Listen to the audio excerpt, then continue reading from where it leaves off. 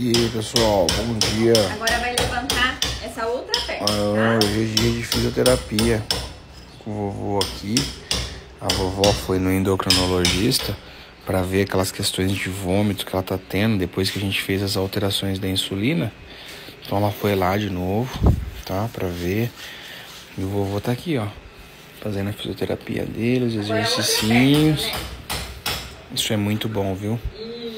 Isso é muito bom. Por mais pouco que seja, fez a diferença na vida do vovô, viu? Fez a diferença. Olha que, que elasticidade, ó. Dá uma olhada. Muito bacana. É, não fácil fraco não, bicho. Lenha é fogo.